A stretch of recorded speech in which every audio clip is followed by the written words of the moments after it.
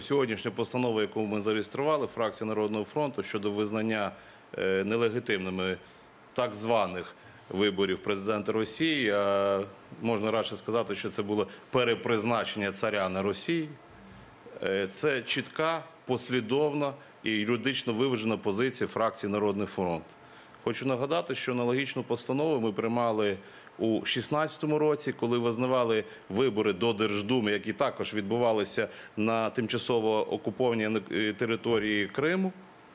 То тоді ми визнали їх нелегітимними. Дякую всім колегам, е, які е, з Верховної Ради, які проголосували за це. І ця ж дума, яка визнана нелегітимною, і її правові акти також ну, цілком логічно визнаються нелегітимними, призначає вибори президента Росії, також в Криму. Тому я впевнений, що і завтра ми знайдемо голоси за е, визнання виборів президента Росії нелегітимними, і всі правові наслідки, які правові акти, яким не будуть прийматися, вони будуть також нелегітимними. Тому що це чіткий сигнал нашим колегам, е, нашій антипутінській західній коаліції про те, що санкції з країни-агресора неможливо знімати. Їх лише треба розширювати і поглиблювати. До речі, ви говорили, що Росія політичний ворог. Ми законодавчо закріпили. Це також була е, ініціативою Народного фронту, що Росія є країною-агресором.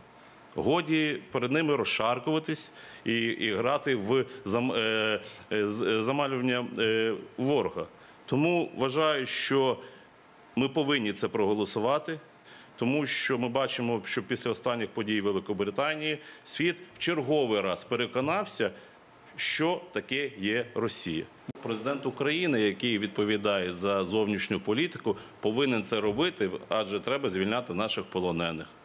Тому, але треба це робити в міжнародному форматі, нормандському форматі. Повертаємося до Будапештського формату, де країна та й Росія визнавала як учасник Будапештського меморандуму суверенність і непохитність кордонів України. Ці всі постанови, які приймаються зараз, вони будуть лягати в юридичну площину і формування великого позову України після перемоги України е, в війні з Росією. Я в це вірю.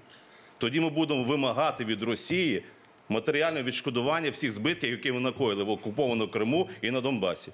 Оце буде наша відповідь.